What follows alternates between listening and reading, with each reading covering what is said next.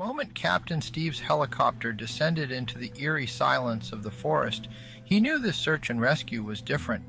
The abandoned backpack near Bear Creek was the first sign, but what they found deeper in the woods would haunt them all.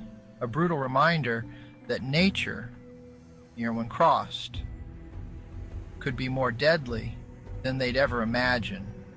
The rhythmic thrum of the helicopter blades cut through the air, reverberating across the endless forest below.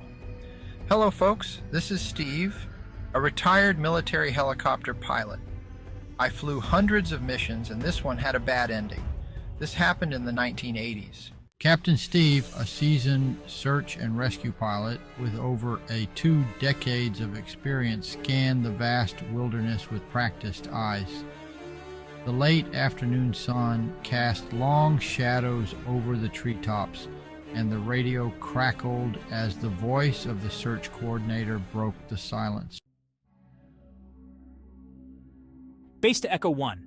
We've got a confirmed sighting of a vehicle abandoned near Bear Creek Trail. Victim is a 35-year-old hiker gone missing three days ago, last seen heading toward the trailhead alone. Be advised there's been increased bear activity in the area. Uh, Monroe's heart sank bears. He'd been in the air for hundreds of rescues, everything from lost children to stranded mountaineers. But bear attacks always carried an eerie weight. Copy base heading to the coordinates now.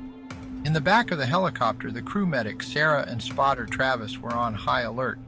They knew the stakes. The wilderness had a way of hiding things, and when a bear was involved, time wasn't on anyone's side. As they approached Bear Creek Trail, the dense canopy opened up, revealing a winding path that disappeared into the deep woods. Steve circled the area, slowly, eyes peeled for any sign of movement. It was quiet, too quiet. There.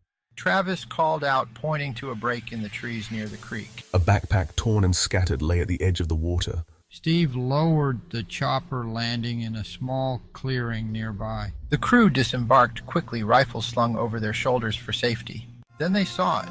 The body lay just beyond the creek, partially concealed by ferns and foliage. What was once a man was now a brutal reminder of nature's raw, untamed power. His torso was torn open, limbs scattered, and deep gashes marked his body, clear signs of a bear attack. Sarah's breath caught in her throat. She knelt beside the remains, her gloved hand trembling slightly as she checked for anything they could bring back to the victim's family, a piece of identification. Something to tell them they'd found him, but there was nothing, just, just devastation. Steve stood a few feet back, his face pale but hardened by years of witnessing the worst nature had to offer. Travis scanned the perimeter, keeping an eye on the tree line. The bear could still be nearby. We need to get out of here. Sarah said softly, rising to her feet. There's nothing we can do for him now. Steve nodded, feeling the heavy weight of responsibility settle in his chest. Search and rescue missions didn't always end with triumph. They turned back toward the helicopter, the hum of the rotors offering a strange sense of comfort. As they lifted off, Steve took one last glance at the scene below. A patch of wilderness forever marked by the violence of nature.